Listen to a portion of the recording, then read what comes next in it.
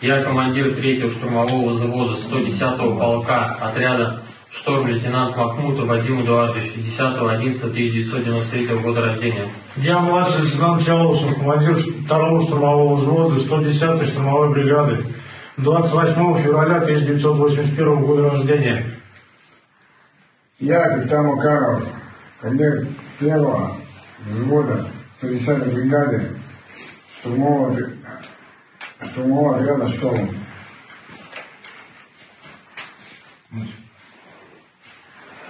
Хочу обратиться к Верховному Главнокомандующему Владимиру Владимировичу Путину и министру обороны Шойгу.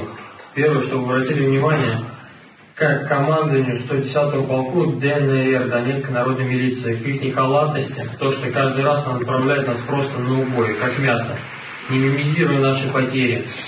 Первое, то, что хочу вам сказать, нет вещевого удовольствия, которое было обещано нам в стороне Министерства обороны и страны, страны Донецкой народной милиции. Второе, то, что бы хотел сказать, также нету по вооружению. Автоматы все 80-го года. Магазинов элементарно не хватает. БК на исходе не выдается. Мины для минометов идут как подсчет, как бы это не смешно было сказано.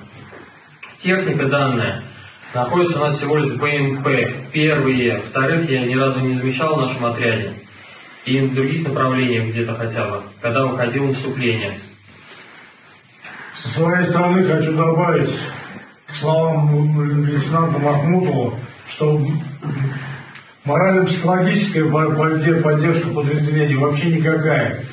Личный состав боится выходить на, на передовую, так как нету ни поддержки, ни авиации, ни техники нету. Чего вообще, для чего нас посылают? -то? Просто тупо как мясо, как фарш, чтобы нас искоренить. Хочу поддержать своих офицеров о том, что при отправлении личного состава на шторм происходит на 200 300 которых мы вытащить не можем. Из-за того, что происходят выстрелы, обстрелы, и последним нашим выездом согласие личного состава, так что закончилось у нас БК, нас воевать нечем было.